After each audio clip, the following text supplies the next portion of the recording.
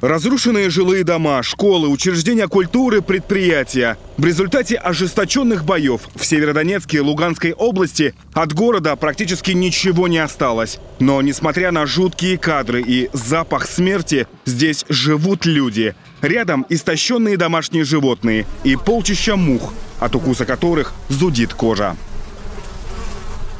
Вот смотрите, вот тоже один из вариантов быта домашнего. Вот так вот мы готовим, кушаем, прячемся тут же в подвалах рядом. А что сегодня на ужин у вас? А сегодня у нас на ужин манная каша. Хотите, угостим?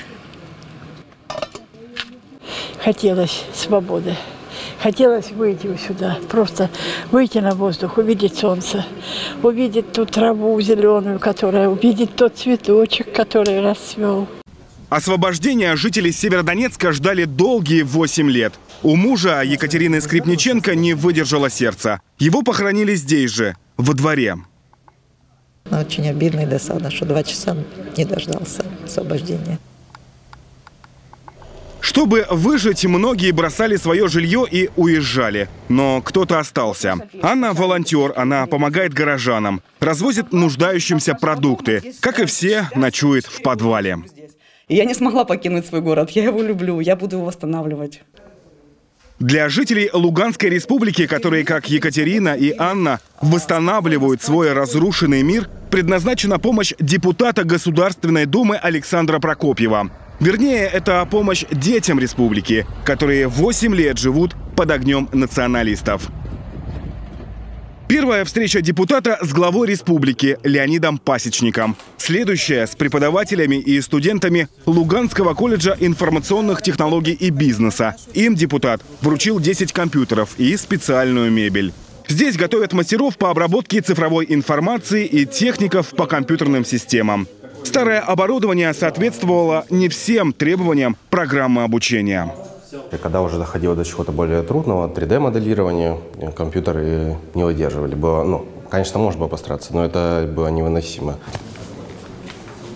Число студентов по информационному направлению в этом году в разы больше. Среди абитуриентов – выпускники школ освобожденных территорий. Если недавно это была одна группа, то на данный момент это уже три группы первого курса. Мы, наоборот, ждем и приветствуем, когда к нам идут дети, особенно в направлении наших информационных технологий.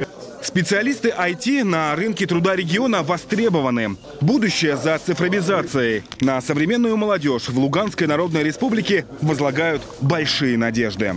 Молодому поколению э, Луганской Народной Республики предстоит воссоздать все, что здесь было разрушено. И, наверное, даже правильно будет сказать не воссоздать, а создать новую действительность.